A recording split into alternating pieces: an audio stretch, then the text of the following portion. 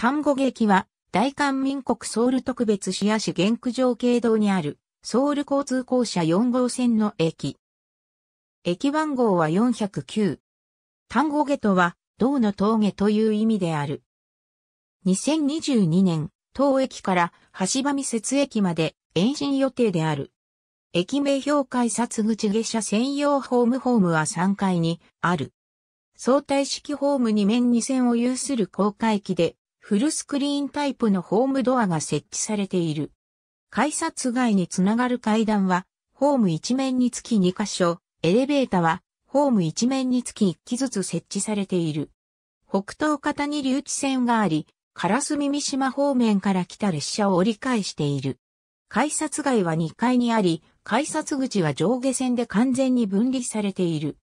化粧室は南西側の改札外に1箇所ある。出入り口は1番から4番までの合計4箇所あるが、北東側に5番出入り口も存在する。近年の1日平均利用人員推移は下記の通り。アパート団地も多く宅地化されているが、水落山、仏岩山などの山々に囲まれ、休日はハイキング客で賑わう。また、ソウル特別市と京気道の境界近くにあり、峠を越えた京気道南洋州市の住民も、南洋州市内バス、甲州市内バス10の後、マウルバスとの乗り換え駅として利用する。ありがとうございます。